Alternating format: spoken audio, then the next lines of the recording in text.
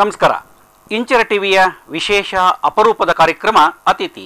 ಅತಿಥಿ ಕಾರ್ಯಕ್ರಮದಲ್ಲಿ ವಿವಿಧ ಕ್ಷೇತ್ರಗಳಲ್ಲಿ ಸಾಧನೆ ಮಾಡಿರುವ ಸಾಧಕರು, ಗಣ್ಯಾತಿ ಗಣ್ಯರು, ರಾಜಕೀಯ ಧುರಣರು, ಘಟಾನುಘಟಿ ನಾಯಕರು, ಸಾಹಿತಿಗಳು ಸೇರಿದಂತೆ ಹಲವರು ಭಾಗವಹಿಸಿ ತಮ್ಮ ಅನುಭವ, ಅನಿಸಿಕೆಗಳನ್ನು ಹಂಚಿಕೊಳ್ಳಲಿದ್ದಾರೆ. ವೀಕ್ಷಕರು ದೂರವಾಣಿ ಕರೆಯನ್ನು ಮಾಡುವ ಮೂಲಕ ನೇರವಾಗಿ ಅತಿಥಿಗಳೊಂದಿಗೆ ಮಾತನಾಡಬಹುದು, ಅವರನ್ನು ಪ್ರಶ್ನಿಸಬಹುದು. ಇವತ್ತಿನ ನಮ್ಮ ಅತಿಥಿ ಕಾರ್ಯಕ್ರಮದಲ್ಲಿ ಪಾಲ್ಗೊಳ್ತಾ ಇರ್ತಕ್ಕಂಥವ್ರು ಅತ್ಯಂತ ವಿಶೇಷವಾಗಿರ್ತಕ್ಕಂಥ ವ್ಯಕ್ತಿ. ವ್ಯಕ್ತಿ ಅಷ್ಟೇ ಅಲ್ಲ, ಇಡೀ ರಾಜ್ಯದ ಎಲ್ಲ ಮನೆ ಮಾತಾಗಿರ್ತಕ್ಕಂಥವ್ರು ಅಂತಂದರೆ ಬಹುಶಃ ತಪ್ಪಾಗಲಿಕ್ಕಿಲ್ಲ. ಗ್ರಾಮೀಣ ಪ್ರದೇಶದಿಂದ ಬಂದವರಾಗಿದ್ದರೂ ಕೂಡ ಬೆಂಗಳೂರಿನ ಮಹಾನಗರದಲ್ಲಿ ನೆಲೆಸಿ ಇಡೀ ರಾಜ್ಯದ ಎಲ್ಲರ ಮನೆ ಮಾತಾಗಿರ್ತಕ್ಕಂಥ ನವ್ಯ ಕವಿ ಡಾಕ್ಟರ್ ಎಚ್ ಎಸ್ ವೆಂಕಟೇಶ್ ಮೂರ್ತಿಯವರು. ವೆಂಕಟೇಶ್ ಮೂರ್ತಿಯವರು ತಕ್ಷಣ ಎಲ್ಲರೂ ಎಚ್ ಎಸ್ ವಿ ಅಂದ್ರೆ ಗೊತ್ತಾಗುವಂಥದ್ದು. ಡಾಕ್ಟರ್ ಎಚ್ ಎಸ್ ವಿ ಅವರು ನಮ್ಮ ಜೊತೆಲಿದ್ದಾರೆ. ಡಾಕ್ಟರ್ ಎಚ್ ಎಸ್ ವಿ ಅವರಿಗೆ ತುಂಬ ಹೃದಯದ ಸ್ವಾಗತ. ಸರ್, ಅತ್ಯಂತ ಅಭಿಮಾನದ ಮಾತುಗಳು, ಅಭಿನಂದನೆಯ ಮಾತುಗಳು ಅಂತ ಹೇಳಿದ್ರೆ ಗ್ರಾಮೀಣ ಪ್ರದೇಶದಿಂದ ಬಂದಂಥವ್ರು ನೀವು. ನಿಮ್ಮ ಬರವಣಿಗೆ ಲಾಭದು ನಿಮ್ಮ ಲಾಭದ ಒಂದು ರೀತಿಯ ದೇಸಿ ಸೊಗಡಿದೆ ಅಂತ ಹೇಳಿದ್ರೆ ಬಹುಶಃ ತಪ್ಪಾಗಲಿಕ್ಕಿಲ್ಲ. ನೀವು ಏನು ಚನ್ನಗಿರಿ ತಾಲೂಕು ಹೂಡಿಗೆರೆ ಗ್ರಾಮದಲ್ಲಿ ಜನ್ಮವನ್ನು ತಾಳ್ತೀರಿ, ಅಲ್ಲಿ ವಿದ್ಯಾಭ್ಯಾಸವನ್ನು ಮಾಡ್ತೀರಿ. ಆದರೆ ಅಲ್ಲಿ ನಿಮ್ಮ ಪ್ರೌಢಶಾಲೆಯೇ ಇರಲಿಲ್ಲ ಅಂತಕ್ಕಂಥದ್ದನ್ನು ನಾವು ಕೇಳಿದ್ದೇವೆ. ಅಂತಹ ಪರಿಸ್ಥಿತಿ ಒಳಗೆ ಅಲ್ಲಿ ಹೇಗೆ ವಿದ್ಯಾಭ್ಯಾಸ ನಡೀತು ನಿಮ್ಮದು ಯಾಕಂದರೆ ಗ್ರಾಮೀಣ ಪ್ರದೇಶದಿಂದ ಬಂದವರು ಅಂತ ಹೇಳಿದಾಗ ಅನೇಕರು ಏನೇನೋ ಆಲೋಚನೆಯನ್ನು ಮಾಡ್ತಾರೆ. ಇವತ್ತು ನಿಮ್ಮನ್ನು ನೋಡಿದಾಗ ನೀವೇ ನಮ್ಗೆ ಆದರ್ಶಪ್ರಾಯರು ಅಂತ ಹೇಳ್ಬೋದು. ಹಾಗಾಗಿ ನಿಮ್ಮ ಗ್ರಾಮೀಣ ಪ್ರದೇಶದಲ್ಲಿನ ನಿಮ್ಮ ಬೆಳವಣಿಗೆಯ ಪರಿಚಯವನ್ನು ನಮಗೆ ಮಾಡಿಕೊಡಿ. ನಾನು ಚನ್ನಗಿರಿ ತಾಲೂಕಿನ ಹೋದಿಗೆರೆ ಅಂತ ಸಣ್ಣ ಹಳ್ಳಿಯದು ಆ ಹಳ್ಳಿಯಲ್ಲಿ ಹುಟ್ಟಿ ಬೆಳೆದವನು ನನ್ನ ಪ್ರೈಮರಿ ಮತ್ತು ಮಾಧ್ಯಮಿಕ ಶಾಲೆಯ ಶಿಕ್ಷಣ ನಾನು ಅಲ್ಲಿ ಪಡೆದಿದ್ದು. ಬಹಳ ಸಣ್ಣ ಊರದು. ಬಸ್ಸಿನ ಸಂಪರ್ಕ ಕೂಡ ಇರಲಿಲ್ಲ. ನೇರವಾಗಿ ಬಸ್ಗಳಿಂದ ಅಲ್ಲಿ ಬರ್ಲಿಕ್ಕೆ ಆಗ್ತಿರ್ಲಿಲ್ಲ. ಆಮೇಲೆ ನಾನು ಅಲ್ಲಿ ಇದ್ದಾಗ ಬಾಲ್ಯದಲ್ಲಿ ಹೈಸ್ಕೂಲ್ ಹೋಗ್ಬೇಕಂದ್ರೆ ಬೇರೆ ಊರಿಗೆ ಹೋಗ್ಬೇಕು ಚನ್ನಗಿರಿ ಅಥವಾ ಹೊಳಲ್ಕೆರೆ. ಅಲ್ಲಿ ಹತ್ತಿರ ಹೋಗಿದ್ದಂತಹ ನಗರಗಳು ಸಣ್ಣ ನಗರಗಳು. ಅಲ್ಲಿಗೆ ಹೋಗ್ಬೇಕಾಗ್ತದೆ. ಅಂತ ಅಂಥ ಒಂದು ಪ್ರದೇಶ ಅದು. ಆದರೆ ಸಾಂಸ್ಕೃತಿಕವಾಗಿ ಮಾತ್ರ ತುಂಬಾ ಹಾ. ಸ್ಥಳ ಆಗಿದೆ. ನಿರಂತರವಾಗಿ ಬಯಲಾಟಗಳು ನಡೀತಾ ಇತ್ತು ಯಕ್ಷಗಾನ ನಡೀತಾ ಇತ್ತು. ಯಕ್ಷಗಾನದಲ್ಲಿ ಬೊಂಬೆ ಆಟ ಅಂತ ನಮಗೆ ಬಹಳ ಅದು ನಿರಂತರ ನಡೀತಾ ಇತ್ತು. ಹಾಗಾಗಿ ಭಾರತ ರಾಮಾಯಣದ ಕಥೆಗಳನ್ನ ನಾವು ಚಿಕ್ಕಂದ್ರಿಂದ ನಮ್ಮ ಮನಸ್ಸಿನಲ್ಲಿ ತಕೊಂಡವರು ಆಮೇಲೆ ಅಲ್ಲಿ ಭಜನಾ ಮಂಡಳಿ ಇತ್ತು. ಸಂತೆಗಳಾಗೋದು ಉತ್ಸವಗಳು ಪರಿಷೆಗಳಾಗೋದು ಹೀಗಾಗಿ ಇಡೀ ಹಳ್ಳಿ ಒಂದು ಸಾಮೂಹಿಕ ಬದುಕನ್ನ ಬದುಕ್ತಿದ್ದಂಥ ಸಂದರ್ಭ. ಸರ್ ನೀವು ನಿಜಕ್ಕೂ ಆ ಸಂತೆ ಆ ಪರಿಚಯ ಇವತ್ತು ಯಾರಿಗೂ ಅದು ಪರಿಚಯವೇ ಇಲ್ಲದಂಥ ಸ್ಥಿತಿ ಆಗೋಗಿದೆ. ಇವತ್ತಿನ ಮಕ್ಕಳಿಗೆ ಇದು ಗೊತ್ತೇ ಗೊತ್ತೇ ಆಗಲ್ಲ. ನಾವೆಲ್ಲ ಅದೃಷ್ಟವಂತರು ಆ ರೀತಿ. ಹತ್ತು ಜನದೊಂದಿಗೆ ಒಟ್ಟಾಗಿ ಬದುಕಿದವರು. ಯಾರ ಮನೆಯಲ್ಲಿ ಸಂತೋಷ ಸಂದರ್ಭ ಬಂದ್ರು ಅಥವಾ ದುಃಖದ ವಿಷಯ ಬಂದ್ರು ಅದೇ ಎಲ್ಲ ಇಡೀ ಹಳ್ಳಿ ಒಂದು ಏಕಾಂಗಿಯಾಗಿ ಅದನ್ನ ಅನುಭವಿಸ್ತಾ ಇದೆ ಒಂದು ಶರೀರ ಅನ್ನೋ ಹಾಗೆ. ಇವತ್ತು ಆ ತರ ಕಮ್ಯುನಿಟಿ ಲಿವಿಂಗ್ ಅನ್ನೋದು ಕಾಣಿಸ್ತಾ ಇಲ್ಲ. ಹೌದು ಹೌದು. ಅಲ್ವಾ? ಪಕ್ಕದ ಮನೆಯಲ್ಲಿ ಏನಾಗುತ್ತೆ ಅಂತ ನಮಗೆ ಗೊತ್ತಾಗೋದಿಲ್ಲ. ನಿಜ ನಿಜ ನಿಜ. ಯಾರಿದ್ದಾರೆ ಅನ್ನೋದೇ ಗೊತ್ತಿರಲ್ಲ. ಯಾರಿದ್ದಾರೆ ಅನ್ನೋದೇ ಗೊತ್ತಿಲ್ಲ ಆ ಪರಿಸ್ಥಿತಿ ಆಗಿದೆ. ಸರ್ ಖಂಡಿತ ನೀವು ಹೂದಿಗೆರೆ ಗ್ರಾಮದ ಬಗ್ಗೆ ಹೇಳ್ತಾ ಇದ್ರೆ ನಿಜಕ್ಕೂ ಖುಷಿ ಅನಿಸುತ್ತೆ. ಯಾಕಂದರೆ ಅಲ್ಲಿ ನಿಮ್ಮ ಭಜನೆ ನಡೀತಾ ಇತ್ತಂಥದ್ದು ಅಥವಾ ಸಂತೆ ಇತ್ತು ಪರಿಚಯ ಇತ್ತು ಇದೆಲ್ಲರೂ ಇವತ್ತಿನ ಮಕ್ಕಳಿಗೆ ಏನು ಅನ್ನುವಂಥದ್ದು ಪರಿಕಲ್ಪನೆಯೇ ಇಲ್ಲ ಅದ್ರ ಬಗ್ಗೆ ಆಲೋಚನೆಯೂ ಇಲ್ಲ ಅಂತಕ್ಕಂಥದ್ದು. ಸರ್ ಅಲ್ಲಿ ವಿದ್ಯಾಭ್ಯಾಸ ಮಾಡೋದಕ್ಕೆ ನಿಮಗೆ ಸೂಕ್ತವಾಗಿರ್ತಕ್ಕಂಥ ವ್ಯವಸ್ಥೆ ಹೇಗಿತ್ತು ಅನ್ನೋಂಥದ್ದು ಗೊತ್ತಿಲ್ಲ ಬಹುಶಃ ಗ್ರಾಮೀಣ ಪ್ರದೇಶವಾದ್ದರಿಂದ ನೀವು ಅಲ್ಲಿಂದ ಓದಿ ಮತ್ತೆ ನೀವು ಹೊಳಲ್ಕೆರೆಗೆ ಬರ್ತೀರಿ ವಿದ್ಯಾಭ್ಯಾಸವನ್ನು ಮುಂದುವರಿಸೋದಕ್ಕೆ ಪ್ರೌಢಶಾಲೆಯಲ್ಲಿ ಮುಂದುವರಿಸೋದಕ್ಕೆ. ಅದು ಹೇಗೆ ನಡೀತು ನಿಮ್ಮ ವಿದ್ಯಾಭ್ಯಾಸ ಹೇಗೆ ಸಾಕ್ತಾ ಹೋಯಿತು ಅಂತ? ಯಾಕಂದರೆ ಗ್ರಾಮೀಣ ಪ್ರದೇಶದೊಳಗೆ ಅವಕಾಶನ ಕಡಿಮೆ. ಶಿಕ್ಷಕರ ಕೊರತೆ ಇರ್ಬೋದು ಅಥವಾ ಏನೋ ಒಂದು ಮಕ್ಕಳು ಶಾಲೆಗೆ ಹೋಗ್ಲಿ ಅಂತ ಕಳಿಸಿರ್ತಕ್ಕಂಥದ್ದು ಇರ್ಬೋದು. ವಾಸ್ತವವಾಗಿ ಹಾಂ. ಅಲ್ಲಿ ಪ್ರೈಮರಿ ಶಾಲೆಗೆ ಒಂದು ಸ್ವಂತ ಕಟ್ಟಡ ಕೂಡ ಹ್ಞೂ ಹಾಗಾಗಿ ಇವತ್ತು ಒಂದು ದೇವಸ್ಥಾನದಲ್ಲಿ ಶಾಲೆ ಮುಂದಿನ ವರ್ಷ ಮತ್ತೊಂದು ದೇವಸ್ಥಾನದಲ್ಲಿ. ಅಥವಾ ಪಂಚಾಯತಿ ಕಟ್ಟೆಯಲ್ಲಿ. ಹೀಗೆ ನಾವು ತರಗತಿಗಳನ್ನ ಹೀಗೆ ಬೇರೆ ಬೇರೆ ಬೇರೆ ಜಾಗದಲ್ಲಿ ನಡೆಸ್ತಾ ಇದ್ರು. ಮಾಧ್ಯಮಿಕ ಶಾಲೆಗೆ ಮಾತ್ರನೇ ಅಲ್ಲಿ ಒಂದು ಕಟ್ಟಡ ಇತ್ತು. ಹಾಗಾಗಿ ಹೈ ಪ್ರೈಮರಿ ಶಾಲೆಗೆ ಕಟ್ಟಡವೇ ಕಟ್ಟಡವೇ ಇಲ್ಲ. ಅಂತ ಸಂದರ್ಭ ನಾವು. ಯಾವುದೋ ಪಂಚಾಯತಿ ಹಾಲು ಯಾವುದೋ ದೇವಸ್ಥಾನ ಯಾವುದೋ ಗುಡಿಯೋ. ಹೀಗೆ ಅಂಗಡದಲ್ಲಿ ಕೂತ್ಕೊಂಡು ನಾವು ಅಭ್ಯಾಸ ಮಾಡಿದ್ದು. ಅದು ಬಡಪ. ಹ್ಞೂ ಬಳಪ ಸ್ಲೇಟು. ಕೂತ್ಕೊಳ್ಳೋಕೆಲ್ಲ ಬೆಂಚುಗಳು. ಬೆಂಚಲ್ಲ ಅದು. ಇದು ಮನೆಗಳು. ಮನೆಗಳು ಮನೆಗಳು. ಎಲ್ಲ ಒರಗಿಸಿಟ್ಟರು ಗೋಡೆಗೆ. ನಾವು ಶಾಲೆಗೆ ಹೋದವರು ಮೊದಲು ಮಾಡ್ಬೇಕಾದ ಕೆಲಸ ಅಂದ್ರೆ ಆ ಮನೆಗಳನ್ನೆಲ್ಲ. ಕೆಳಗಡೆ ಮಲಗಿಸಿ ಅದ್ರ ಮೇಲೆ ನಾವು ಹ್ಞೂ ಆಯ್ತಾ? ಹೀಗೆ ನಾವು ಬದುಕ್ತವ್ರು ಜೀವನ ಸಾಗಿಸ್ತವರು. ಅಲ್ಲಿ ಅಧ್ಯಾಪಕರು ಹೆಚ್ಚು ಕಡಿಮೆ ಎಲ್ಲ ಹಳ್ಳಿನವರೇ ಹೇಗೋ ಬಂದಲ್ಲಿ ಸರ್ಕಾರಿ ಶಾಲೆ ಆದ್ರೂ ಅಲ್ಲಿ ಇದ್ಬಿಟ್ಟಿದ್ರು. ಒಳ್ಳೆ ಶಿಕ್ಷಣ ನಾವು ಪಡೆಯಕ್ಕಾಗ್ಲಿಲ್ಲ ನಿಜವಾಗ್ಲೂ ಶಿಕ್ಷಣ ಅನ್ನೋದು ನನಗೆ ಅದರ ಅರ್ಥ ಗೊತ್ತಾದದ್ದು ನಾನು ಪ್ರೌಢಶಾಲೆಗೆ ಹೋದ್ಮೇಲೆ. ಹೈಸ್ಕೂಲಿಗೆ ಹೋದ್ಮೇಲೆ. ಯಾಕೆಂದ್ರೆ ನಮ್ಮೂರಿನಲ್ಲಿ ಹೈಸ್ಕೂಲ್ ಇರಲಿಲ್ಲ. ಹೊಳಲ್ಕೆರೆಗೆ ನಾನು ಹೈಸ್ಕೂಲ್ ಓದಲಿಕ್ಕೆ ಅಂತ ಹೋದೆ. ಹ್ಮ್ ಹ್ಮ್. ಆಗ ನನಗೆ ಅಲ್ಲಿ ಬಹಳ ಅದ್ಭುತವಾದಂಥ ನಾನು ಮರಿಲಿಕ್ಕೆ ಸಾಧ್ಯ ಇಲ್ಲ ಅಂತ ಅಧ್ಯಾಪಕರು ನನಗೆ ಸಿಕ್ಕರು. ಸರ್ ಆ ಪ್ರೌಢಶಾಲೆ ಒಂದಷ್ಟು ನೆನಪಾಗಲಿ ಸರ್ ಒಂದಷ್ಟು ಯಾವ ನಮ್ಮ ಪ್ರೌಢಶಾಲೆ ಹೆಸರು M M M H S ಓಹ್ M M M H S ಮೂರು ಎಮ್ಮುಗಳು ಹಳ್ಳಿ ಮಾದಣ್ಣವರ ಮುನ್ಸಿಪಲ್ ಹೈಸ್ಕೂಲ್ ಅಂತ ಅದಕ್ಕೆ ಮೂರು ಎಮ್ಮುಗಳು ಮೂರು ಹ್ಞೂ ಅಲ್ಲಿ ಕನ್ನಡ ನಮಗೆ ಕಲಿಸ್ತಿದ್ದವರು ನರಸಿಂಹಶಾಸ್ತ್ರಿಗಳು ನರಸಿಂಹಶಾಸ್ತ್ರಿಗಳು ಬಹಳ ಪ್ರೀತಿ ಮನುಷ್ಯರು. ವಿದ್ಯಾರ್ಥಿಗಳ ಬಗ್ಗೆ ತುಂಬಾ ಅಭಿಮಾನ. ಕ್ಲಾಸ್ ಮಾತ್ರ ತಗೊಳ್ಳೋದು ಪಠ್ಯ ಮಾತ್ರ ಮಾಡೋದು ಅಂತಲ್ಲ ಅವರು. ಯಾವುದೇ ಬಿಡುವಿನ ತರಗತಿ ಇದ್ರೆ ನರಸಿಂಹಶಾಸ್ತ್ರಿಗಳು ಬಂದ್ಬಿಡು ಹಾಂ ಹಾಂ ಹ್ಞೂ ಬಂದು ನಮಗೆ ನಾವು ಪಠ್ಯವಾಗಿ ಓದ್ತಲೇ ಇರುವಂತ ಯಾವುದೋ ಪುಸ್ತಕನ ತುಂಬಾ ಚೆನ್ನಾಗಿರೋದನ್ನು ತಂದು ಅದನ್ನು ಓದ್ತಾ ಇತ್ತು ಹ್ಞೂ ಇಂಥ ಅಧ್ಯಾಪಕರು ದೊರೆಯೋದು ಪುಣ್ಯ ಖಂಡಿತ. ಖಂಡಿತ. ಈ ಕುವೆಂಪು ಅವರ ಮಲೆನಾಡಿನ ಚಿತ್ರಗಳು.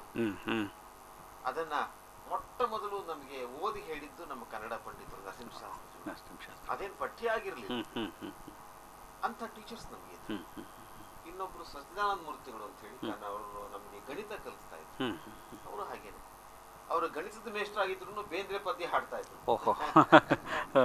ಅವರು ತರಗತಿಗೆ ಬಂದು ಬಿಡುವಿದ್ರೆ ಬೇಂದ್ರೆಯವರ ಕತಿ ಕವಿತೆಗಳನ್ನ ಹಾಡಿ ನಮ್ಗೆ ಸಂತೋಷ ಪಡಿಸೋರು ಹೀಗಾಗಿ ನಮಗೆ ಆ ವಯಸ್ಸಿನಲ್ಲಿ ಹೈಸ್ಕೂಲ್ ಬೆಳೆಯೋ ವಯಸ್ಸಿನಲ್ಲಿ ಒಳ್ಳೆ ಹಸಿ ಜೇಡಿ ಮಣ್ಣಿದ್ದ ಹಾಗಿರುತ್ತೆ ಹೌದು ಖಂಡಿತ. ಹೌದು ಹೌದು. ಏನನ್ನೋದು ತಕ್ಷಣ ತಗೊಂಡ್ಬಿಡುತ್ತೆ. ನಮಗೆ ಇಂಥ ಅಧ್ಯಾಪಕರು ಇದ್ದಿದ್ದರಿಂದ ಹ್ಞೂ ಬಹಳ ಒಳ್ಳೆ ಪರಿಣಾಮ ಆಯಿತು. ಲೈಬ್ರರಿಗೆ ಅವರು ನಮ್ಮನ್ನು ಕರ್ಕೊಂಡು ಹೋಗ್ತಾ ಇದ್ರು ಪುಸ್ತಕಗಳನ್ನ ತಕ್ಕೊಡೋರು ಇದನ್ನು ಓದು ಇದನ್ನು ಓದು ಅಂತ ಹೇಳೋರು. ಆಯ್ತಾ? ರಾಮಾಯಣ ದರ್ಶನವನ್ನು ನನಗೆ ಓದಿಸಿದ್ದು ನಮ್ಮ ಮೇಷ್ಟ್ರು ಆ ಕಾಲದಲ್ಲಿ ಆ ಕಾಲದಲ್ಲಿ. ನನಗೇನು ಅರ್ಥ ಆಗ್ತಾ ಇಲ್ಲ.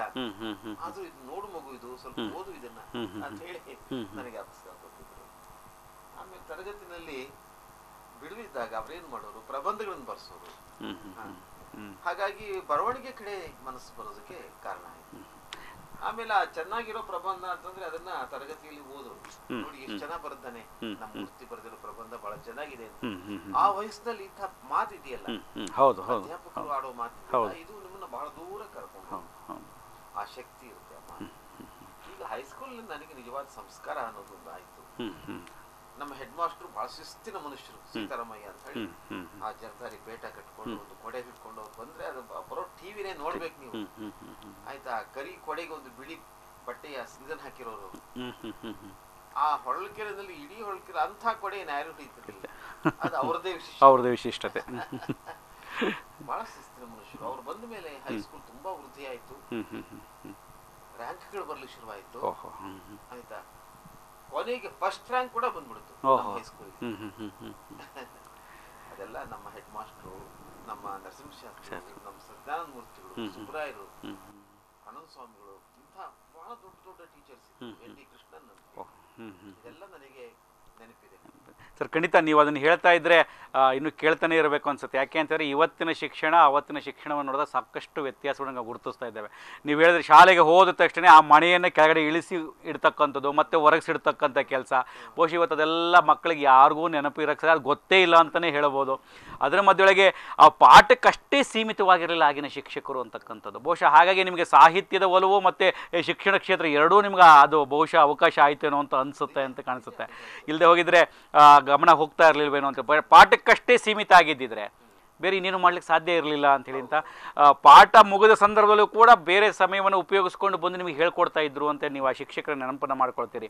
ಸರ್, ಈ ಸಾಹಿತ್ಯದ ಒಲವು ಬಂದಂಥದ್ದು ಅದರಿಂದಲೇ ಅಂತ ಅನ್ನಿಸ್ತಾ ಇದ್ದಾರೆ, ಎರಡನೇ ಮಾತಿಲ್ಲ. ಆದರೆ, ನಿಮ್ಮ ಮೊದಲ ಕವನವನ್ನು ಬರೆದಾಗ ಯಾವಾಗ ಆ ಕವನವನ್ನು ಬರೆದ್ರಿ ಬರಿಬೇಕು ಅಂತಕ್ಕಂಥದ್ದು ಹೇಗೆ ಈಗ ನೀವು ಪ್ರಬಂಧವನ್ನು ಬರೆದಾಗ ತುಂಬ ಚೆನ್ನಾಗಿ ಬರೆದಿದ್ದಾರೆ ಅಂತ ಹೇಳಿ ಒಂದು ಪ್ರೋತ್ಸಾಹಿಸ್ತಾ ಇದ್ದಂಥದ್ದು ಇರ್ಬೋದು. ಈ ಕವನ ಅಂತ ಈಗಾಗಲೇ ನೀವು ಎಚ್ ಎಸ್ ಬಿ ಅಂತ ಹೇಳ್ಬಿಟ್ರೆ ಕವಿ ನವ್ಯ ಕವಿ ಅಂತ ಎಲ್ಲ ಕಡೆ ಇಡೀ ರಾಜ್ಯದಾದ್ಯಂತ ಮನೆ ಮಾತಾಗಿದ್ದೀರಿ ಅದನ್ನು ಮತ್ತೆ ಹೇಳ್ತೀನಿ ಯಾವಾಗ ಆಗಿದ್ದೀರಿ ಅಂತ ಹೇಳ್ತಾ. ಮೊದಲ ಕವನವನ್ನು ಯಾವಾಗ ಬರೆದ್ರಿ ತಾವು? ಹಾಂ ಹಾಂ. ಆಟ ಅಂತ ಹೇಳಿ ಮಂಗೇಶ್ ರಾಯರದು ಒಂದು ಪದ್ಯ ಬಂತೈ ಬಂತೈ ಸುಂಟ್ರ ಗಾಳಿ. ಸುಂಟ್ರ ಗಾಳಿ. ಬಹುಶಃ ಅದನ್ನ ಓದಿದ ಮೇಲೆ ನನಗೆ ತುಂಬಾ ಪ್ರಭಾವ ಆಯ್ತು ಈ ತರ ನಾವು ಬರಿಬೇಕು ಪ್ರಯತ್ನ ಮಾಡ್ಬೇಕು ಅಂತ ಹೇಳಿ ನಾನು ನಮ್ಮ ಮೇಷ್ಟ್ರಿಗೆ ಅಂದ್ರೆ ಪಂಡಿತರಿಗೆ ಶಾಸ್ತ್ರಿಗಳು. ಹೇಳಿದೆ. ಸರ್ ಈ ತರ ಪದ್ಯ ಹೇಗ್ ಬರೆಯೋದು ಅಂತ? ನೋಡ್ ಮಗು ಅದೇ ತರ ಅನುಕರಣೆ ಮಾಡಿ ಒಂದು ಪದ್ಯ ಬರೆಯೋದು. ಅಲ್ಲಿ ತೆಂಕಣ ಗಾಳಿ ಬಗ್ಗೆ ಇತ್ತಲ್ಲ. ನಾನು ಮಳೆ ಬಗ್ಗೆ ಒಂದು ಪದ್ಯ ಬರೆದ. ಅದೇ ರೀತಿ ಲಯ. ಅದೇ ಛಂದಸ್ಸು ಇಟ್ಕೊಂಡು ಮಳೆಯ ಕುರಿತು ಒಂದು ಪದ್ಯ ಬರೆದೆ ಅದನ್ನು ತಗೊಂಡೋಗಿ ಆಮೇಲೆ ನಮ್ಮ ಮೇಷ್ಟ್ರಿಗೆ ತೋರಿಸಿದೆ ಆಮೇಲೆ ಅವರು ಎಲ್ಲ ಲೆಕ್ಕ ಹಾಕಿದ್ರು. ಮಾತ್ರೆ ಗಣ ಎಲ್ಲ ಹಾಕ್ಬಿಟ್ಟು ಏ ಚೆನ್ನಾಗ್ ಬರೀತಿಯಪ್ಪ ನೀನು. ಪರವಾಗಿಲ್ಲ. ಅಂತ ಹೇಳಿ ಬೆನ್ ತಟ್ಟಿ ಬರೀ ನೀನು ಇನ್ಮೇಲೆ ನೋಡಿ, ಅದೇ ನನಗೆ ಮೊಟ್ಟ ಮೊದಲ ಒಂದು ರೀತಿ ನಾಂದಿ ಸಾಹಿತ್ಯದ ಬರವಣಿಗೆ. ಮಳೆ ಮಳೆಯಿಂದ ಆರಂಭವಾದದ್ದು ಇವತ್ತಿಗೂ ಇನ್ನು ನಿಂತಲ್ಲಿ ನಿರಂತರವಾಗಿ ಹೋಗ್ತಾ ಇದೆ ಅಂತಕ್ಕಂಥದ್ದು ನಿಜಕ್ಕೂ ಹೆಮ್ಮೆಯ ಸಂಗತಿ ಸರ್. ಆ ಮಧ್ಯೊಳಗೆ ನೀವು ಮಲ್ಲಾಡಿಯೊಳಗೆ ಹೈಸ್ಕೂಲನ್ನು ಮುಗಿಸ್ತೀರಿ ಅಲ್ಲೇ ಕೆಲಸವನ್ನು ಕೂಡ ಸುಮಾರು ದಿವಸ ಮಾಡಿದ್ರಿ ನೀವು ಮಲ್ಲಾಡಿ ಹಳ್ಳಿ ಒಳಗೆ ಅದು ಹೇಗೆ ಆಯಿತು ಅಂತಕ್ಕಂಥದ್ದು? ನಾನು ಹೈಸ್ಕೂಲ್ ಮುಗಿಸಿ ಪಿ ಯು ಸಿ ದುರ್ಗದಲ್ಲಿ ಓದಿದೆ. ಚಿತ್ರದುರ್ಗದಲ್ಲಿ ಹ್ಞೂ ಹ್ಞೂ ಹ್ಞೂ ಅದಾದ್ಮೇಲೆ ನಮ್ಮ ಮನೆಯಲ್ಲಿ ನೀವು ಬೇಗ ಕೆಲಸ ಮಾಡಿ ಮನೆಗೆ ಬೇಕಾಗುತ್ತೆ. ಆರ್ಥಿಕವಾಗಿ ತುಂಬಾ ಅನಾನುಕೂಲಗಳಿತ್ತು ಬಡತನ. ಅದಕ್ಕೆ ಡಿಪ್ಲೊಮಾ ಮಾಡ್ಬಿಡು ಕೆಲಸಕ್ಕೆ ಅನುಕೂಲ ಆಗುತ್ತೆ ಅಂತ ಮೂರು ವರ್ಷದ diploma course Bhadravati. S J ನಲ್ಲಿ. ನಾನು ಡಿಪ್ಲೊಮಾ ಸೇರಿದೆ. ಅಲ್ಲಿ ಮೂರು ವರ್ಷ ಡಿಪ್ಲೊಮಾ ಮಾಡಿ ಮೆಕ್ಯಾನಿಕಲ್ ಇಂಜಿನಿಯರಿಂಗ್ ನನ್ಗ ಒಲಿವಿಗೂ ಅದು ಅದಕ್ಕೂ ಸಂಬಂಧವೇ ಇಲ್ಲ. ತಾತ್ ಸಂಬಂಧ ಇಲ್ಲ. ನಾನು ಕ್ಲಾಸಲ್ಲಿ ಕುತ್ಕೊಂಡು ಇಂಜಿನಿಯರಿಂಗ್ ಮೆಟೀರಿಯಲ್ಸ್ ಬುಕ್ ಹ್ಞೂ ಹ್ಞೂ ಅದರದ್ದು ರ್ಯಾಪರ್ನ ಕಾರಂತರ ಕಾದಂಬರಿಗೆ ಹಾಕ್ಬಿಟ್ಟು ಓದ್ತಾ ಇದ್ದೆ. ನನಗೆ ಬಿ ಎಂ ಎಸ್ ಅಂತ ಒಬ್ರು ಬಹಳ ಶಿಸ್ತಿನ ಮನುಷ್ಯ ಇದ್ರಲ್ಲಿ. ಸುಂದರ ಪುರುಷ. ಅವರು ಮೂರ್ತಿ ನಿನ್ನೆಲ್ಲ ಕಳತನ ನನ್ಗೆ ಗೊತ್ತಾಗುತ್ತೆ. ನೀನು ನನ್ನ ಟೆಕ್ಸ್ಟಿನ ಪಠ್ಯನ ರ್ಯಾಪರ್ ಇಟ್ಕೊಂಡು ಕಾರಂತರನ್ನು ಓದ್ತೀಯ. ತಮಾಷೆ ಮಾಡು ಹೇಗೋ ಮಾಡಿದೆ. ಡಿಪ್ಲೊಮಾ ಆಯ್ತು. ಆದ್ಮೇಲೆ ಮಲ್ಲಾಡಿಹಳ್ಳಿ ಹೈಸ್ಕೂಲ್ ಅಲ್ಲಿ ಒಂದು ವೇಕೆನ್ಸಿ ಇದೆ ಅಂತ ಗೊತ್ತಾಯ್ತು ಕ್ರಾಫ್ಟ್ ಟೀಚರ್ ಅಲ್ಲಿಗೆ ಹೋಗಿ ಸೇರ್ಕೊಂಡು. ಅಲ್ಲಿ ಏಳು ವರ್ಷ ನಾನು ಮಲ್ಲಾಡಿಹಳ್ಳಿ ಹೈಸ್ಕೂಲ್ನಲ್ಲಿ ಕ್ರಾಫ್ಟ್ ಟೀಚರ್ ಆಗಿ ಕೆಲಸ ಸರ್ ನೀವು ಹೇಳ್ತಾ ಇರೋದು ನೋಡಿದ್ರೆ ವಿದ್ಯಾಭ್ಯಾಸಕ್ಕೂ ನಿಮ್ಮ ಸಾಹಿತ್ಯಕ್ಕೂ ನಿಮ್ಮ ಕೆಲಸ ಕಾರ್ಯಕ್ಕೂ ಒಂದಕ್ಕೊಂದು ಸಂಬಂಧವೇ ಇಲ್ಲ ಅಂತಕ್ಕಂಥದ್ದು. ಸಂಬಂಧವೇ ಇಲ್ಲ. ಆದರೆ ನೀವು ಹೇಳಿದ್ರಲ್ಲ ಆ ಪುಸ್ತಕದ ರ್ಯಾಪರನ್ನು ಬದಲಾಯಿಸಿ ಓದ್ತಾ ಇದ್ದಂಥದ್ದು ಇದೆಯಲ್ಲ ನಿಜಕ್ಕೂ ಆ ಸಾಹಿತ್ಯದ ಒಲವಿದ್ರೆ ಹೇಗೆ ಇಲ್ಲ ಆಗತ್ತೆ ಅನ್ನೋದಕ್ಕೆ ನೀವು ಒಂದು ಸಾಕ್ಷಿಯಾಗಿದ್ದೀರಿ. ಸರ್ ಮಲ್ಲಾಡ್ ನಿಮ್ಮ ಪರಿಚಯವನ್ನು ಮಾಡೋಕ್ಕಿಂತ ಮುನ್ನ ನನಗೆ ಮಲ್ಲಾಡಿ ಹಳ್ಳಿ ಅಂತ ಪ್ರಶ್ನೆ ಬಂದಾಗ ನಿಮಗೆ ನಿಮ್ಗೆ ಅತ್ಯಂತ ಹತ್ತಿರದ ಬಲ್ಲಂಥವ್ರು ಅಲ್ಲಿದ್ದಂಥ ಸ್ವಾಮಿ ರಾಘವೇಂದ್ರ ಶ್ರೀಗಳು ತಿರುಕ ಅಂತಕ್ಕಂಥ ಕರಿತಕ್ಕಂಥ ಯಾಕಂದರೆ ಈಗ ಎಲ್ಲರೂ ಅವ್ರನ್ನ ಮರ್ತು ಬಿಟ್ಟಿದ್ದಾರೆ ಅಂತ ನಾನು ಅಂದ್ಕೊಂಡಿದ್ದೀನಿ ಬಹಳಷ್ಟು ಜನಕ್ಕೆ ಅದು ನೆನಪೇ ಇಲ್ವೇನೋ ಅಂತೇಳಿ ಅಂತ.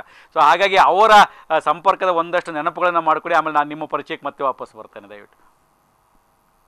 ಸ್ವಾಮೀಜಿಯವರು ನನಗೆ ಹತ್ರ ಇದ್ದರು ಆಗ. ಯಾಕೆಂದ್ರೆ ಅದು ಒಂದು ರೀತಿ ಆ ಇಡೀ ಆಶ್ರಮನೇ ಒಂದು ಯೂನಿಟ್ ಅದು. ಹಳ್ಳಿಗೂ ಅದಕ್ಕೂ ಸಂಬಂಧನೇ ಇರಲಿಲ್ಲ. ಆ ಹಳ್ಳಿಗೆ ಹೋದ್ರೆ ಎಲ್ಲಾ ಹಳ್ಳಿಗಳಂತೆ ಅಲ್ಲೂ ಕೂಡ ಕೊಳೆ ಹೊಳೆ ಗಲೀಜು ಎಲ್ಲ ಇದೆ? ಆದ್ರೆ ಆಶ್ರಮಕ್ಕೆ ಬಂದ ಕೂಡಲೇ ಒಂದು ಯಾವುದೋ ಒಂದು ಬೇರೆ ಲೋಕಕ್ಕೆ ಹೋದಾಗ ಅಷ್ಟು ಶುದ್ಧವಾಗಿ ನೀಟಾಗಿ ಆಶ್ರಮ. ಟೀಚರ್ಸ್ ಎಲ್ಲ ತುಂಬಾ ಚೆನ್ನಾಗಿದ್ರು ಅಲ್ಲಿ. ಕೆಲಸ ಮಾಡೋರು ಕೂಡ ಒಳ್ಳೆ ಆಸಕ್ತಿ ಇರುವಂತವ್ರು ಸಾಹಿತ್ಯದಲ್ಲಿ ಆಸಕ್ತಿ ಸಂಗೀತದಲ್ಲಿ ಆಸಕ್ತಿ ಇರುವಂತವ್ರು ಸ್ವಾಮೀಜಿ ಅಂತೂ ಸೇವೆ ಸೇವೆ ಸೇವೆ. ಯಾರಾದ್ರೂ ಏನಾದ್ರೂ ಬರ್ಕೊಡಿ ನಮಗೆ ಮಾತು ಅಂತಂದ್ರೆ ಈ ಮೂರು ಪದ ಬರೆಯೋರು ಯಾವಾಗಲೂ. ಹ್ಞೂ ಸೇವೆ ಸೇವೆ ಸೇವೆ. ಬಾ ರಾಘವೇಂದ್ರ. ಅಂತ. ಅವ್ರ ಹೆಸರು ರಾಘವೇಂದ್ರ. ಅವ್ರನ್ನ ರಾಘವೇಂದ್ರ ಸ್ವಾಮಿಗಳು ಅಂತ ಕರೀತಾರೆ ಇದ್ರು. ಅದರ ಶಾರ್ಟ್ ಫಾರ್ಮ್ ಅಂದ್ರೆ ಸ್ವಾಮೀಜಿ ಸ್ವಾಮೀಜಿ ಸ್ವಾಮೀಜಿ. ಸ್ವಾಮೀಜಿ. ಅದಕ್ಕೆ ಮೊದಲು ವ್ಯಾಯಾಮ ಇಷ್ಟ್ರು ಅಂತ ಕರೀತಾರೆ. ಯಾಕೆಂದ್ರೆ ಅವರು ವ್ಯಾಯಾಮ ಹೇಳ್ಕೊಡ್ತಾ ಇದ್ರು ಇಲ್ಲಿ ನೆಲೆಸಿದ ಮೇಲೆ ಅವರು ಸ್ವಾಮೀಜಿ ಆದ್ರು ಸ್ವಾಮೀಜಿ ಆದ್ರು ಕಾವಿ ಬಟ್ಟೆ ಹಾಕೊಂಡ್ರು ಬಿಳಿದೊಂದು ಜುಬ್ಬ. ಜುಬ್ಬ. ಹೌದು ಹೌದು ಹೌದು. ಆಯ್ತಾ? ತೋಳಿಲ್ಲದಂತ. ಹ್ಞೂ ಹ್ಞೂ ಅದು ಹಾಕೊಂಡು ಒಂದು ಕಾವಿ. ಅದೇ ಅವ್ರದ್ದು ಯೂನಿಫಾರ್ಮ್ ಆಯ್ತಾ? ಅದು ಬಿಟ್ರೆ ಇನ್ನೇನಿಲ್ಲ. ಹಾಗಾಗಿ ಅವರೊಂದು ಗಾಂಧಿ ಸ್ಮಾರಕ ಮಂದಿರ ಅಂತ ಮಾಡ್ಕೊಂಡಿದ್ರು. ಅಲ್ಲಿ ಅವರು ಯಾವಾಗಲೂ ಧ್ಯಾನ ಬರವಣಿಗೆ. ಅದಾದ್ಮೇಲೆ ಬೆಳಗಾಗಿದ್ರೆ ಬರೋದು ಆ ಆಶ್ರಮದಲ್ಲಿ ಎಲ್ಲ ಕಡೆ ತಿರುಗೋದು ಹೇಗಿದೆ ಅಂತ ಅವ್ರಿಗೆ ಹೇಳ್ತಾ ಇದ್ರು. ಅವ್ರದ್ದೆಲ್ಲ ಏನೇನೋ ಕನಸುಗಳು. ನೋಡ್ಮೂರ್ತಿ ಮೂರ್ತಿ ನಾನು ಬರ್ತಾ ಇದ್ರೆ ಬೆಳಿಗ್ಗೆ ಆರು ಗಂಟೆಗೆ ಒಂದು ಮನೆಯಿಂದ ವೇದಘೋಷ ಕೇಳಬೇಕು. ಒಂದು ಮನೆಯಿಂದ ಭಗವದ್ಗೀತೆನ ಯಾರೋ ಓದ್ತಾ ಇರಬೇಕು. ಒಂದು ಮನೆಯಿಂದ ಸಂಗೀತ ಕೇಳ್ತಾ ಇರಬೇಕು. ನೋಡಿ ಆ ಥರದ್ದು ಒಂದು ವಾತಾವರಣ ನಾನು ಇಷ್ಟಪಡ್ತೀನಿ ಅಂತ. ಅದವ್ರ ಕನಸೇ ಆಗಿತ್ತು ಮನೆಯವರೆಗೂ ಯಾಕಂದ್ರೆ ಎಲ್ಲರಿಗೂ ಸಂಸಾರ ತಾಪ ಹೌದು, ಮಕ್ಕಳು ಸಿದ್ಧ ಮಾಡೋದು. ಗಂಡಂದ್ರಿಗೆ ತಿಂಡಿ ಕೊಡೋದು ಬಿಟ್ಟು. ಅವರು ಇದೆಲ್ಲ ಮಾಡ್ಲಿಕ್ಕೆ ಸಾಧ್ಯ? ಆಗೋದಿಲ್ಲ. ಆಗೋದಿಲ್ಲ ಆಗೋದಿಲ್ಲ. ಕನಸು ಅಷ್ಟೇ ಅವ್ರ ಇಡೀ ಆಶ್ರಮ ನನ್ನ ಶರೀರ ಅಂತ ಹೇಳ್ತಾ ಹ್ಮ್. ಹೌದು. ನಾನು ಮತ್ತು ಆಶ್ರಮಕ್ಕೆ ಭೇದನೆ ಇಲ್ಲ ಅಂತ. ನಿಸ್ವಾರ್ಥದಿಂದ ಯಾರು ಇಲ್ಲ ಪಾಪ ಹೌದು. ಸಂಸಾರ ಇಲ್ಲ ಫ್ಯಾಮಿಲಿ ಇಲ್ಲ ಮದುವೆ ಇಲ್ಲ ಬ್ರಹ್ಮಚಾರಿ ಹ್ಮ್ ಹ್ಮ್. ನಿಷ್ಠೆಯಿಂದ ಅವರು ತಿರುಪ್ ತಿರುಪೆ ಎತ್ತು ಹೌದು ಹೌದು. ಜೋಳಿಗೆ ಇಟ್ಕೊಂಡು ಇದೇ ನನ್ನ ಜೋಳಿಗೆನೆ ನನ್ನ ಆಸ್ತಿ ಅಂತ ಆ ಜೋಳಿಗೆ ತಗೊಂಡು ಹೋಗ್ಬಿಟ್ಟು ತಿರುಪೆ ಮಾಡ್ಕೊಂಡು ಬಂದು. ಆಶ್ರಮ ಬೆಳೆಸಿದ್ರು ಹೈಸ್ಕೂಲ್ ಮಾಡಿದ್ರು ಟಿ ಸಿ ಎಚ್ ಸ್ಕೂಲ್ ಮಾಡಿದ್ರು. ವ್ಯಾಯಾಮ ಶಾಲೆ ಮಾಡಿದ್ರು. ಆಯುರ್ವೇದಿಕ್ ಹಾಸ್ಪಿಟಲ್ ಮಾಡಿದ್ರು. ಈಗ ಅದೊಂದು ಒಂದು ರೀತಿ ಆ, ಸ್ವಯಂಪೂರ್ಣವಾದಂತಹ ಒಂದು ಸಾಂಸ್ಕೃತಿಕ ಘಟವಾಗುವ ಹಾಗೆ ಅವರು ಸ್ವಾಮೀಜಿ ಮಾಡಿದ್ರು. ಅವರಿಗೆ ಸೂರದಾಸರು ಅಂತ ಒಬ್ಬ ಶಿಷ್ಯರಿದ್ರು ಬಹಳ ನಿಷ್ಠಾವಂತರು ಅವರು ಪಾಪ. ಸೊ ಇಬ್ರು ಸೇರ್ಕೊಂಡು ಅವರು ಮದುವೆ ಇಲ್ಲ. ಇಬ್ರು ಬ್ರಹ್ಮಚಾರಿ ಆ ಮಕ್ಕಳಿಗೆ ನೂರಾರು ಜನ ಮಕ್ಕಳು ಪಾಪ ಅಲ್ಲಿ ಊಟ ಮಾಡೋ ಹೌದು. ಫ್ರೀ ಊಟ ಸರ್. ನಾನು ಒಂದ್ಸರಿ ಸ್ವಾಮಿಗಳಿಗೆ ಹೇಳಿದೆ. ಸ್ವಾಮೀಜಿ ಇಷ್ಟೆಲ್ಲ ಮಾಡ್ತೀರಾ? ಮಕ್ಕಳಿಗೆಲ್ಲ ಊಟ ಎಲ್ಲ ಕೊಡ್ತಿದ್ದೀರಾ? ಬಡ ಮಕ್ಕಳಿಗೆ. ಬಹಳ ಒಳ್ಳೇದು. ಆದ್ರೆ ಅವ್ರಿಗೆ ಸ್ವಲ್ಪ ಇನ್ನೂ ರುಚಿಯಾದ ಊಟ ಕೊಡ್ಬೋದಲ್ವಾ? ಅಂತ ಹೇಳಿದೆ. ಅದಕ್ಕೆ ಸ್ವಾಮಿಗಳು ಹೇಳಿದ್ರು. ಅಲ್ಲಪ್ಪ ಅವ್ರ ಮನೆಯಲ್ಲಿ ಈ ಊಟನು ಸಿಗಲ್ಲ. ಸಿಗಲ್ಲ. ಇಲ್ಲಿ ಕಡೆ ಪಕ್ಷ ಹೊಟ್ಟೆ ತುಂಬಾ ಊಟ ಸಿಗ್ತಾ ಇದೆ. ನಿಜ. ಪರಿಸ್ಥಿತಿ ಪರಿಸ್ಥಿತಿ ಈ ಆಶ್ರಮ ಪ್ರಾರಂಭ ಆದ್ರಿಂದ ಏನಾಯ್ತು. ಅಂದ್ರೆ ಸುತ್ತಮುತ್ತ ಹಳ್ಳಿಗಳಿಂದ ಮಕ್ಕಳೆಲ್ಲ ಅಲ್ಲಿ ಬರ್ಲಿಕ್ಕೆ ಶುರು. ಹೌದು, ಹೌದು. ಹೈಸ್ಕೂಲ್ಗಳು ಇರ್ಲಿಲ್ಲ. ಎಲ್ಲ ಕಡೆಯೂ. ಮರಳಿ ಆಶ್ರಮದಲ್ಲಿ ಆ ಸ್ಕೂಲ್ನಲ್ಲಿ ಎಲ್ಲಾ ಮಕ್ಕಳು ಸುತ್ತಮುತ್ತ ಒಂದು ಹತ್ತಾರು ಮೈಲಿ ಬರ್ತಾ ಇದ್ರು. ಸೊ ಅವರೆಲ್ಲ ಎಸ್ ಎಲ್ ಸಿ ಮಾಡಿದ್ರು ಟಿ ಸಿ ಎಚ್ ಮಾಡಿದ್ರು ಟೀಚರ್ಸ್ ಆದ್ರು. ಹಳ್ಳಿ ಹಳ್ಳಿಯಲ್ಲಿ ಮಲ್ನಾಡಹಳ್ಳಿ ಓದಿದಂತಹ ಮಕ್ಕಳು ಅಧ್ಯಾಪಕರಾದ್ರು. ಅವರೆಲ್ಲ. ಸಾಮಾನ್ಯವಾಗಿ ಹೌದು ಹೌದು. ಯಾಕಂದ್ರೆ ಆಶ್ರಮದಲ್ಲಿ ಕಲ್ತಂತದ್ದು ಬಂದಿದ್ರು. ಹೀಗೆ ಒಂದು ವಾತಾವರಣನೇ ಬದಲಾವಣೆ ಮಾಡಿದ್ರು. ಸರ್ ಖಂಡಿತ ನೀವು ಅವರ ಜೊತೆ ಒಳಗೆ ಇದ್ದಂಥದ್ದು ಅವರ ಅನುಭವಗಳು ಎಲ್ಲವೂ ಹೇಳಿದ್ರಿ. ನಿಜಕ್ಕೂ ನಮಗೆ ಒಂಥರ ಹೆಮ್ಮೆ ಅಂತ ಅನ್ಸುತ್ತೆ. ಯಾಕೆಂದರೆ ಇವತ್ತು ನೋಡ್ತಿರ್ತಕ್ಕಂಥ ಪರಿಸ್ಥಿತಿಯೇ ಬೇರೆ. ಆ ಶಿಸ್ತು ಅಂತಕ್ಕಂಥದ್ದಿಲ್ಲ ಸಂಸ್ಕಾರ ಅಂತಕ್ಕಂಥದ್ದಿಲ್ಲ. ಇಂತಹ ಪರಿಸ್ಥಿತಿಯೊಳಗೆ ಮಲ್ಲಾಡಹಳ್ಳಿಯೊಳಗೆ ಆದಂಥದ್ದು ಒಂದು ಉತ್ತಮವಾಗಿರ್ತಕ್ಕಂಥ ವಾತಾವರಣದ ನಿರ್ಮಾಣವಾಗಿತ್ತು ಅಂತಕ್ಕಂಥದ್ದು. ಸರ್ ಅಲ್ಲೆಲ್ಲ ನೀವು ಚಟುವಟಿಕೆಯನ್ನು ಮುಗಿಸ್ಕೊಂಡು ಬೆಂಗಳೂರಿಗೆ ಬರ್ತೀರಿ ಎಂ ಎನ ಮಾಡ್ತೀರಿ. ಆ ಆ ಯೋಚನೆ ಯಾಕೆ ಬಂತು? ಅಲ್ಲ ಆನಂದವಾಗಿ ಇತ್ತಲ್ವಾ ಇಲ್ಲಿ ಬೆಂಗಳೂರಿಗೆ ಬರಬೇಕು. ಹಾಂ. ಹ್ಞೂ ಹ್ಞೂ ಆಯ್ತಾ ದೊಡ್ಡ ಮನೆ ಆಮೇಲೆ ಸ್ಕೂಲ್ ಪಕ್ಕನೆ ಪಕ್ಕನೇ ಹೌದು.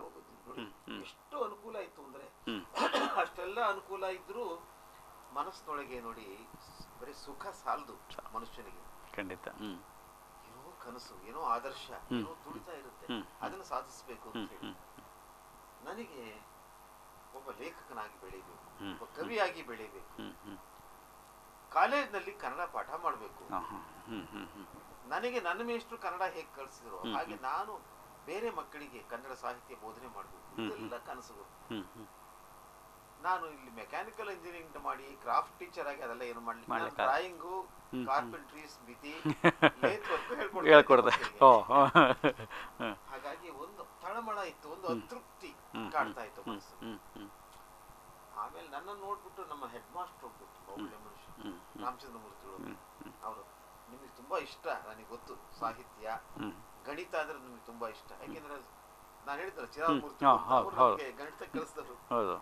ಅದಕ್ಕೆ ನೀವು ಕೆಲವು ಕ್ಲಾಸ್ ಗಣಿತ ತಗೊಳ್ಳಿ ಕೆಲವು ಕ್ಲಾಸ್ ಕನ್ನಡ ತಗೊಳ್ಳಿ ಅಂತ ನನಗೆ ಕ್ರಾಫ್ಟ್ ಟೀಚರಿಗೆ ಕೊಟ್ಟಿದ್ರು. ನಿಮಗೆ ಖುಷಿ ಅದೊಂದು ರೀತಿ ಖುಷಿ ಬಹಳ ಆಮೇಲೆ ಏನಾದ್ರು ಮಾಡಿ ನಾನು ಮುಂದೆ ಹೋಗ್ಬೇಕು ಅಂತ ಹೇಳಿ ಪ್ರೈವೇಟ್ ಆಗಿ ಬಿ ಎ ಮಾಡಿ ಕೆಲಸ ಮಾಡ್ಕೊಂಡಿದ್ದೇನೆ. ಹ್ಞೂ ಕ್ಯಾಂಡಿಡೇಟ್ ಆಗಿ ವಿದ್ಯಾರ್ಥಿಯಾಗಿ ಧಾರವಾಡ ಯೂನಿವರ್ಸಿಟಿಯಿಂದ ಕರ್ನಾಟಕ ಕರ್ನಾಟಕ ಯೂನಿವರ್ಸಿಟಿಯಿಂದ ಬಿ ಎ ಮಾಡಿ. ಓ ಬಿ ಎ ಆಯ್ತಪ್ಪ. ಇನ್ನು ನಾನು ಎಂ ಎ ಮಾಡಬೇಕು ಹೇಳಿ ಮನೆ ಮದುವೆ ಆಗಿದೆ ಮಕ್ಕಳಾಗಿದ್ದಾರೆ. ಸಂಸಾರ ಎಲ್ಲ ನನ್ನ ಮೇಲೆ ಡಿಪೆಂಡ್ ಆಗಿದೆ. ಆದ್ರೂ ಎಲ್ಲಾ ಮಕ್ಕಳನ್ನ ನನ್ನ ಹೆಂಡತಿನ ಮಕ್ಕಳನ್ನೆಲ್ಲ ನಮ್ಮ ತಾಯಿಗೆ ಒಪ್ಪಿಸಿ ನೀವು ನೋಡ್ಕೊಳಮ್ಮ ಅಂತ ಹೇಳಿ ಅವರು ಟೀಚರ್ ಆಗಿದ್ದರು ಪ್ರೈಮರಿ ಸ್ಕೂಲ್ ಟೀಚರ್ ನೀನ್ ಹೇಗೋ ಕಷ್ಟಪಟ್ಟು ನೋಡ್ಕೋ ನಾನು ಎಂ ಎ ಮಾಡ್ಕೊಂಡು ಬರ್ತೇನೆ ಹೇಳಿ ಈ ಕೆಲಸ ಬಿಟ್ಟು ಇದ್ದು ಕೆಲಸ ಪರ್ಮನೆಂಟ್ ಜಾಬ್ ಬಿಟ್ಟು ಬೆಂಗಳೂರಿಗೆ ಬಂದದ್ದು. ಬೆಂಗಳೂರಿಗೆ ಸೆಟ್ಲ್ ಕಾಲ್ಕೊಂಡು ಸೇರಿದೆ. ಅಲ್ಲಿ ನನಗೆ ಸೀಟ್ ಸಿಕ್ಲಿಕ್ಕೆ ಕಾರಣ ಲಕ್ಷ್ಮಣ ಭಟ್ರು ಡಾಕ್ಟರ್ ಜಿ ಶಿವರುದ್ರಪ್ಪನವರು ಅವರ ಒಂದು ರೀತಿ ಅವರ ಪ್ರೀತಿ ಅವತ್ತು ನನಗೆ ಸಿಕ್ತು. ಡಾಕ್ಟರ್ ಜಿ ಎಸ್ ಎಸ್ಗೆ ನಾನು ಬಹಳ ಪ್ರಿಯನಾಗಿ ಹೌದು ಹೌದು ಹೌದು ಹೌದು. ಎರಡು ವರ್ಷ ಎಂ ಎ ಮಾಡಿದೆ. ಎಂ ಎದಲ್ಲಿ ರ್ಯಾಂಕ್ ತಕ್ಕೊಂಡೆ ಅಪ್ಲೈನೇ ಹ್ಮ್. ಸೇಂಟ್ ಜೋಸ್ ಕಾಲೇಜಲ್ಲಿ ನನಗೆ ಕನ್ನಡ ಪ್ರೊಫೆಸರ್ ಕೆಲಸ ಸಿಕ್ತು. ಅಲ್ಲಿ ಮೂವತ್ತು ವರ್ಷ ನಿರಂತರವಾಗಿ ಕೆಲಸ ಖಂಡಿತ ಇದು ಕೇಳ್ತಾ ಇದ್ದರೆ ನಮಗೊಂದು ರೀತಿಯಲ್ಲಿ ಮೈ ರೋಮಾಂಚನ ಆಗೋದ್ರ ಜೊತೆಗೆ ಎಲ್ಲರಿಗೂ ಮಾರ್ಗದರ್ಶಕವಾಗಿರ್ತಕ್ಕಂಥ ವ್ಯಕ್ತಿ ನೀವು ಅಂತ ಹೇಳಿದ್ರೆ ಅತ್ಯಂತ ಅಭಿನಂದನೆ ಅನಿಸುತ್ತೆ. ಯಾಕೆಂದರೆ ಮದುವೆ ಆದ ಮೇಲೆ ಓದ್ತಕ್ಕಂಥ ತುಂಬನೇ ಕಷ್ಟ ಅಂತ ಅನೇಕರ ಭಾವನೆ ಇರುತ್ತೆ. ಅದರಲ್ಲಂತೂ ಮಕ್ಕಳಾದ ಮೇಲೆ ಆಯ್ತಪ್ಪ ಅವ್ರನ್ನೇ ಓದ್ಕೊಂಡಿದ್ದು ಬಿಟ್ರೆ ಸಾಕು ಅಂತ ಹೇಳಿ ಅಂತ. ಅವ್ರನ್ನೆಲ್ಲ ನಿಮ್ಮ ತಾಯಿ ಮಡಿಲಿಗೆ ಹಾಕಿ ನೀವು ಇಲ್ಲಿ ಬಂದು ಓದುವಂಥ ಅಭ್ಯಾಸವನ್ನು ಬೇಕೇ ಬೇಕು. ಸಾಹಿತ್ಯದ ಒಲವು ಎಷ್ಟರ ಮಟ್ಟಿಗೆ ಆಯಿತು ಅಂತ ಹಾಸ್ಟೆಲಲ್ಲಿ ಇದ್ಕೊಂಡು ಹ್ಞೂ ಓಹೋ. ಆ ಹಾಸ್ಟೆಲ್ಲಿ ಎರಡು ವರ್ಷ ನಾನು ಅವ್ರು ಹಾಕಿದ ಊಟ ಮಾಡಿಕೊಂಡು ನೆಲದ ಮೇಲೆ ಹಾಸಿಗೆ ಹಾಕೊಂಡು ಮಲ್ಕೊಳ್ತಾ ಓಹೋ. ಹೊತ್ತು ಓದ್ಕೊಳೋದು ಬೆಳಿಗ್ಗೆ ಎದ್ದು ಮತ್ತೆ ಓದೋದು ಹೀಗೆ ಶ್ರದ್ಧೆಯಿಂದ ಓದಿ. ಆಯ್ತಾ? ಒಳ್ಳೆ ಸ್ನೇಹಿತರು ನನಗೆ ಆಗ. ಆಗ್ಲೇ ನರಹಳ್ಳಿಯವರ ಪರಿಚಯ ನನಗೆ ಆಗೋದು ಹ್ಞೂ ಹ್ಞೂ ಹ್ಞೂ ಆಯ್ತಾ ಮಾಧವರಾವು ಹಿರೇಮಠರು ರಾಜಶೇಖರ್ ಅಂತ ಅವರೆಲ್ಲ ನನ್ನ ಸ್ನೇಹಿತರು ಒಟ್ಟಿಗೆ ಓದ್ದು ವೀರೇಂದ್ರ ಕುಮಾರ್. ನಮಗೆಲ್ಲ ಅದು ಎಷ್ಟು ಹುಚ್ಚಿತ್ತು ಅಂದ್ರೆ ಅದು ನಿಜವಾದ ಸಾಹಿತ್ಯದ ಹುಚ್ಚದು ಏನೋ ಒಂದು ಕೆಲಸಕ್ಕೋಸ್ಕರ ನಾವು ಓದ್ದವರಲ್ಲ. ಖಂಡಿತ. ಅವತ್ತು ಏನೋ ಒಂದು ಹೊಸ ಪುಸ್ತಕ ಬಂತು ಅದ್ರ ಬಗ್ಗೆ ಚರ್ಚೆ ಮಾಡ್ಬೇಕು ನಾವು. ಹ್ಮ್, ಹ್ಮ್. ಸ್ಥಿತಿ ಬಂತು ಅದ್ರ ಬಗ್ಗೆ ಬಿಸಿ ಬಿಸಿಯ ಚರ್ಚೆ ನಮ್ಮ ಹೀಗೆ ಅಪ್ ಟು ಡೇಟ್ ಆಗಿತ್ತು ನಮ್ದು ಹ್ಮ್, ಸಾಹಿತ್ಯ ಜ್ಞಾನ ಅನ್ನೋದು. ಇಲ್ಲಿ ಬಂದ್ಮೇಲೆ ಕನ್ನಡ ಜೊತೆಲಿ ಇಂಗ್ಲಿಷ್ ಸಾಹಿತ್ಯವನ್ನ ಅಭ್ಯಾಸ ಮಾಡಲಿಕ್ಕೆ ಶುರು ಮಾಡಿದೆ. ಜೊತೆಗೆ ತೆಲುಗನ್ನ ವಿಶೇಷವಾಗಿ ನಾನು. ಕಲಿಯಲಿಕ್ಕೆ ಶುರು ಮಾಡಿದೆ. ಸಂಸ್ಕೃತದ ಪರಿಚಯ ಮತ್ತೆ ಅಲ್ಲಿ ಕೆಲವು ನನಗೆ ಬಹಳ ಪ್ರಿಯರಾದಂತ ವ್ಯಕ್ತಿಗಳು ಸಂಸ್ಕೃತನ ಕರೀಲಿಕ್ಕೆ ಶುರು ಮಾಡಿದೆ. ಹೀಗೆ ಬೇರೆ ಬೇರೆ ಭಾಷೆಗಳನ್ನು ಕಲೀಲಿಕ್ಕೆ ಸರ್, ಖಂಡಿತ ನಿಮ್ಮ ಸಾಹಿತ್ಯದ ಒಲವು ಎಷ್ಟು ಮಟ್ಟಿಗೆ ಆಯಿತು ಅಂತಂದರೆ ನಿಮ್ಮನ್ನು ಅಲ್ಲಿಂದ ಬಿಡಿಸಿ ಬೆಂಗಳೂರಿಗೆ ಕರೆತರೋದ್ರ ಜೊತೆಗೆ ನೀವು ಕಷ್ಟಪಟ್ಟು ಕಷ್ಟಪಟ್ಟು, ಇಷ್ಟಪಟ್ಟು ಎರಡನ್ನೂ ಸೇರಿಸ್ಕೊಂಡು ವಿದ್ಯಾಭ್ಯಾಸವನ್ನು ಮಾಡಿದಂಥದ್ದು. ನಿಜಕ್ಕೂ ಅತ್ಯಂತ ಹೆಮ್ಮೆಯ ಸಂಗತಿ. ಇನ್ನೂ ಸಾಕಷ್ಟು ವಿಚಾರಗಳು. ಯಾಕೆಂದರೆ ನಿಮಗೆ ಪ್ರಶಸ್ತಿ ಬಂದಿದ್ದರಿಂದ ಹಿಡಿದು ಸಿನಿಮಾಕ್ಕೆ ನೀವು ಅನೇಕ ಕಥೆ ಸಂಭಾಷಣೆಯನ್ನು ಕೂಡ ಮತ್ತು ಕವಯ ಕವನಗಳನ್ನು ಕೂಡ ಕೊಟ್ಟಿರ್ತಕ್ಕಂಥದ್ದು. ಧಾರಾವಾಹಿ ಅತ್ಯಂತ ಪ್ರಸಿದ್ಧವಾಗಿರ್ತಕ್ಕಂಥ ಧಾರಾವಾಹಿಗಳಿಗೆ ಟೈಟಲ್ ಸಾಂಗನ್ನು ಕೊಟ್ಟಿರ್ತಕ್ಕಂಥದ್ದು. ಹೌದು, ಅದೆಲ್ಲವನ್ನು ಕೂಡ ಮತ್ತೆ ನಾನು ಪರಿಚಯವನ್ನು ನಿಮ್ಮಿಂದ ಬಯಸ್ತೇನೆ. ಮತ್ತು ಒಂದು ಸಣ್ಣ ವಿರಾಮವನ್ನು ತೆಗೆದುಕೊಂಡು. ವೀಕ್ಷಕರೇ ನಾನು ಆಗಲೇ ಹೇಳಿದಾಗೆ ಇಡೀ ರಾಜ್ಯದಾದ್ಯಂತ, ನಾಡಿನಾದ್ಯಂತ ಅತ್ಯಂತ ಪ್ರಚಾರವನ್ನು ಕ್ಯಾ, ಖ್ಯಾತಿಯನ್ನು ಪಡೆದಂಥವ್ರು, ಪ್ರಚಾರ ಅಂತ ಹೇಳಕ್ಕೆ ಇಷ್ಟಪಡಲ್ಲ, ಖ್ಯಾತಿಯನ್ನು ಪಡೆದಂಥವ್ರು ಡಾಕ್ಟರ್ ಎಚ್ ಎಸ್ ಪಿ ಅವರು. ಅವ್ರ ಜೊತೆ ನಾವು ಇಷ್ಟೊತ್ತು ಮಾತನಾಡಿದ್ವಿ. ಈಗ ಒಂದು ಸಣ್ಣ ವಿರಾಮವನ್ನು ತೆಗೆದುಕೊಂಡು ಮತ್ತೆ ಇನ್ನೂ ಅನೇಕ ವಿಚಾರಗಳನ್ನ ಅವ್ರ ಜೊತೆಲಿ ಚರ್ಚೆಯನ್ನು ಮಾಡೋಣ. ಈ ಒಂದು ಸಣ್ಣ ವಿರಾಮ.